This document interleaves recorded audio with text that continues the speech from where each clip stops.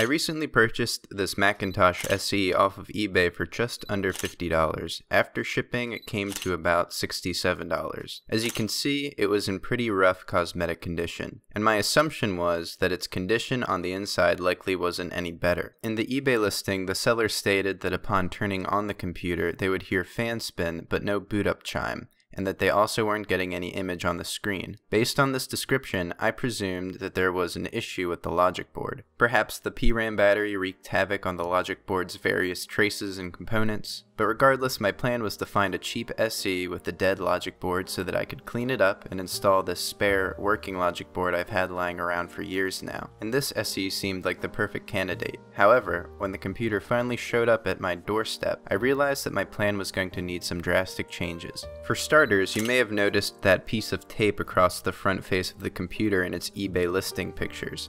However, when it arrived, I noticed that the tape had been removed by the seller, revealing this Radius Accelerator 16 badge. This indicates that this particular SE may have a relatively rare and extremely collectible accelerator card installed. So naturally, I opened the computer to see if it was still there and was relieved to find that it in fact was. And not only that, but the logic board looked to be in immaculate condition with no leaking PRAM battery. Someone had just unplugged it from the analog board, which would explain why this computer wasn't chiming or displaying an image. Unfortunately, there was not all good news for this SE, and there were a few missing components. For starters, I didn't need any tools to remove the back case of the computer because all four of the case screws were missing. The expansion bracket, hard drive, and hard drive sled were all missing as well, and it also looked like a Radius 2-page display adapter was previously installed in this machine as alluded to by this knockout plate, but it too was MIA. My guess is whoever owned this computer was in a rush to remove its hard drive before dropping it off at the recycling center and didn't bother putting back the parts they had to remove to get to it. And while the back says that this is a dual floppy drive variant,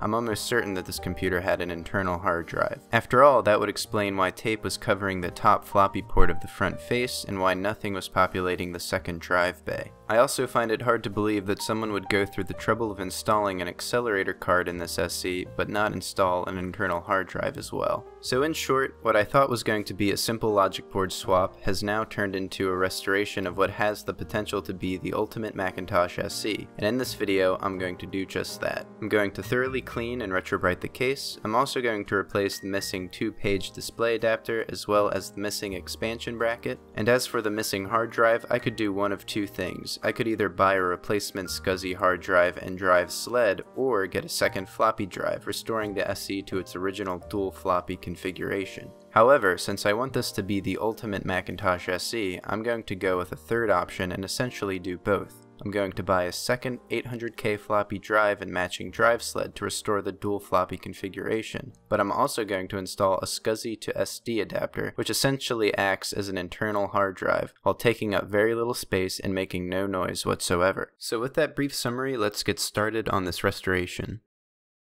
The first thing I do is give the entire computer a light cleaning with some isopropyl alcohol. The whole thing was covered in a somewhat sticky substance which made it uncomfortable to handle. And while the alcohol got rid of some of the grime, it surprisingly did little overall but at least the computer was in better condition to handle. Next, I started the disassembly process. I want to fully remove the internal components from the case plastics so that I can give them a more thorough cleaning.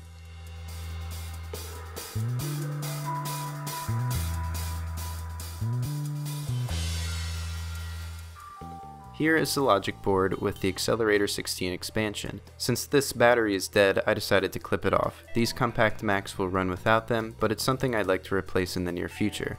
You can tell just by where it was made that this battery was likely original to the machine. Skipping ahead, and you can see that I've completely separated the case plastics from the internal components. I used this opportunity to first clean the entire case with Windex. As you can see, it cuts through practically all of the dirt and grime that wasn't removed by the alcohol. Thank you.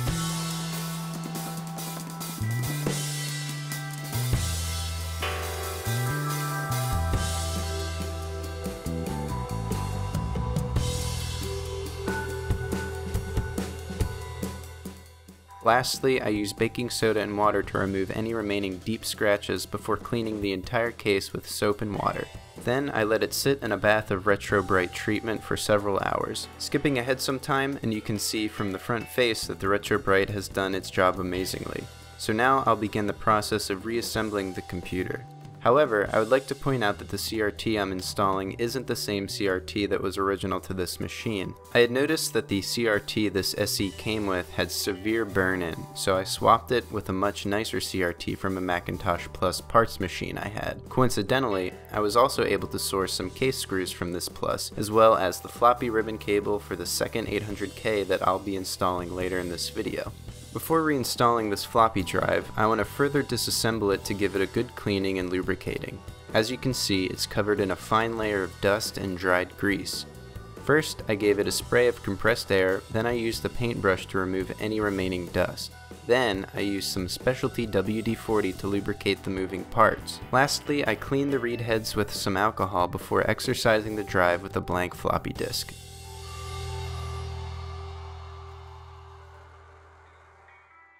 Then it's back into the drive sled.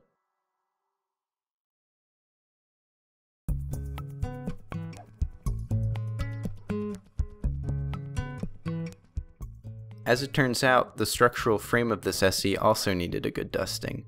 I used the paintbrush again to remove a bulk of the dust and then followed that up with a cleaning with some WD-40. Seeing how everything inside this computer seemed to be coated in dust, I thought I would crack open the power supply to give it a blast of compressed air as well. Moving along with the reassembly, I had to use hot glue to reattach this front speaker since the process of removing it involved removing the case plastic that it was molded into.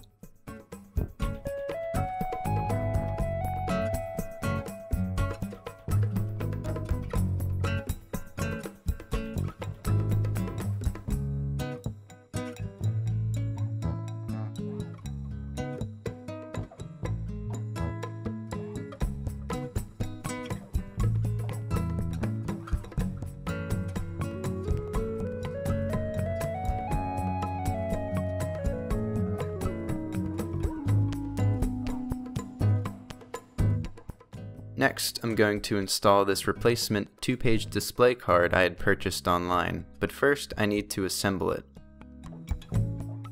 I start by lining up these two holes of the expansion bracket with the two holes in the daughter card. I screw the expansion bracket into place, followed by these two screws.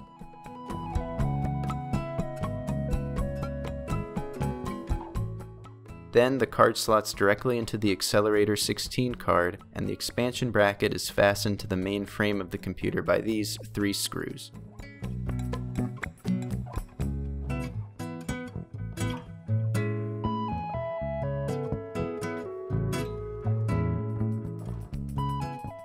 Now with the computer almost completely reassembled, I can test the replacement CRT, and once I see that the picture is bright and crisp, I can transport the Macintosh to my apartment where I await the arrival of a second floppy drive and the SCSI to SD adapter. Fast forward about a week and the replacement floppy drive and dried sled finally arrived. Unfortunately, I realized that while both the top and bottom drive sleds are identical in a dual floppy SE, a third connecting piece is needed to keep the top drive in place. I tried looking for this piece online but couldn't find any instances of it being up for sale. So, I headed to the local Home Depot to look for a simple solution that would both act as a connecting piece for my two floppy drive sleds and act as a mounting point for the SCSI to SD adapter, which at this point had also arrived. And as it turns out, the only piece of hardware that I needed to buy was this single L-shaped bracket. First, I affixed some vinyl tape to this face of the bracket, making sure to cut out these screw holes.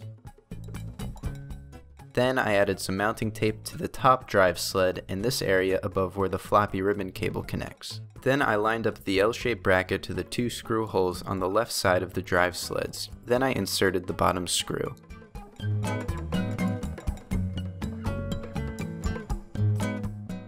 Then I lined up the left screw hole of the SCSI to SD adapter with the two holes of the drive sled and bracket. Then it was just a matter of screwing in the final screw, and now the top drive sled is securely fastened to the bottom drive sled and the SCSI to SD adapter is firmly mounted as well. At this point, it was just a matter of installing the two floppy drives into their respective sleds.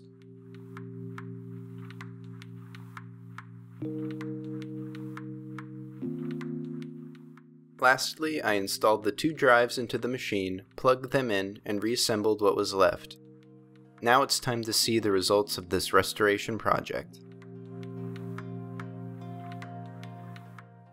Overall, I'm very pleased with how this turned out. The case plastics look great after a thorough cleaning and retro-bright bath. Both drives read, write, and eject properly. The new CRT looks bright and crisp with no burn-in, and the SCSI to SD adapter is lightning fast and was relatively painless to set up and install. Though I do want to eventually find a disk image of Mac OS 7 instead of the 6.0.8 that is currently installed. I also unfortunately don't have a monitor to test the two-page display adapter. But regardless, this was an extremely fun project to take on. I never thought I would find an accelerated SE for my collection, and while it was in rough shape, the process of fixing these computers is honestly the best part of the hobby in my opinion. It's always rewarding to see these old, discarded computers get a new lease on life, and I've been personally using this computer for writing projects as well as a daily planner. Anyway, I hope you enjoyed this video, and as always, this has been Colonial Puppet. Have a nice day.